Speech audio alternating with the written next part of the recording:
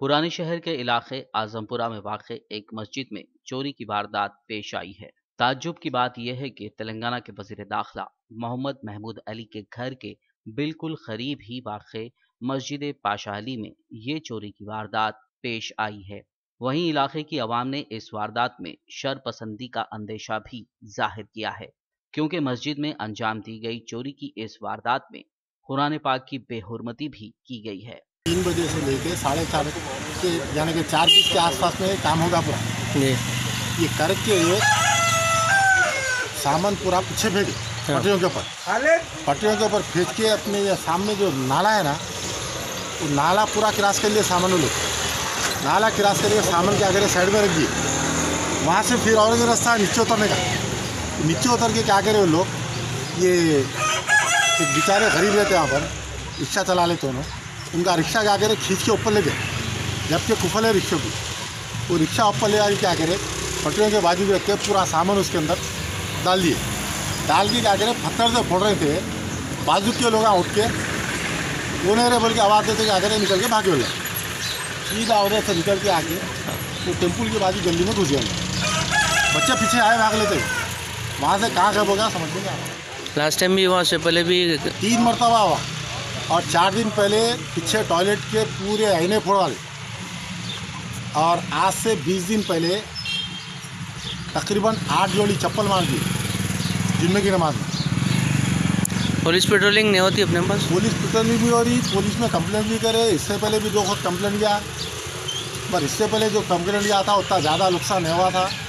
फिर भी समझो जैसा कि बलाना साहब उन लगा इन लगा आए और हमारे कॉरपोरेटर अबरार भाई आए। आगे माप जागा करते बाद थोड़ा बहुत मस्जिद की थोड़ा इलाज करके जागा करे। पर आज जो करे काम वो टोटली बर्बाद कर दिया। उसके अलावा कलाम पाक निकाल के बाहर दिए कुरान की बेहरमती करके तकरीबन देख लीजिए आप तीस से पैंतीस कुरानों को बाहर फेंक डालो। जानी मादा पूरे दिन फिट इतनी फैर ऊपर सम जो आता सम की टाकी का वाल छोड़ के उसका पाइप निकालने की कोशिश कर। रहा है उसके बाद समझो ऐसा पुलिस वाले आए। हाँ पुलिस वाले आए आके ज़िले से तकरीबन साढ़े चार बजे पुलिस वाले आके इन्वेस्टिगेशन चल रही थी अब वो फिंगर प्रिंट्स वालों ने भी बुलाए और अपराध में भी यहीं ठहरे हुए हैं। और सिटी कमिश्नर साहब से बहुत बहुत रिक्वेस्ट है कि हमारे बस्ती का माहौल ख़राब करने की बहुत कोशिश कर रहे हैं। क्योंकि हमारे में यहाँ एकता बहुत अच्छी थी। अब किसके दिन में क्या है नहीं मालूम है। हम ये चाह रहे हैं कमिश्नर साहब से कि इस मामले में अच्छी से अच्छी जाँच करो जो भी खुशरवार है उसको सही से सही सजा दो। ताकि यहाँ हुए ऐसा और कहीं ना हो।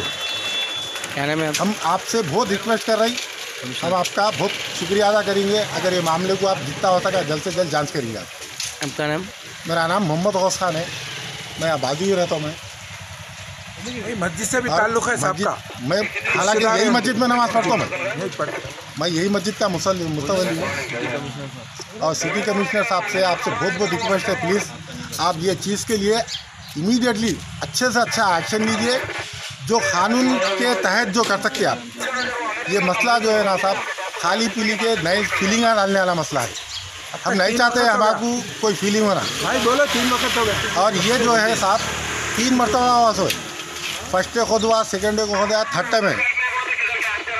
इस खबर की इत्तला मिलते ही मलकपेट से एमआईएम एमएलए अहमद बिन अब्दुल्ला बलाला ने मस्जिद पहुंचकर चोरी की इस वारदात से मुताल्लिक तफसीलात हासिल की। बाद उन्होंने मस्जिद के मुकाम से ही पुलिस अहदेदारों से फ़ोन पर बात करते हुए उन्हें मुकाम वारदात पर तलब किया। कुछ बैग उसको के भाग रहा तो बैग में शराब कैमरा से आगे दे रहा उसको डोंट थिंक इसमें सेफ्टी और हमारे लोग तो यहाँ लेकिन पूरे सब। We will cooperate in all type of peace but मेरे को इसकी शर्त है कि he should not be spared ये खाली अच्छा माहौल पूरा ख़राब करके तबाह कर देंगे उनकी कोई बात नहीं।